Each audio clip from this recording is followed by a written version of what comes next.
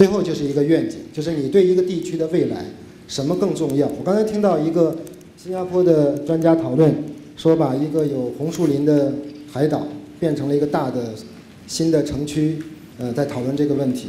其实这时候就是一个价值判断的问题。当你脑子里有这样一张图像的时候，你可能在呃准备摧毁那一片红树林的时候，你就很难下决心了，因为你知道什么什么更重要，什么不不太重要。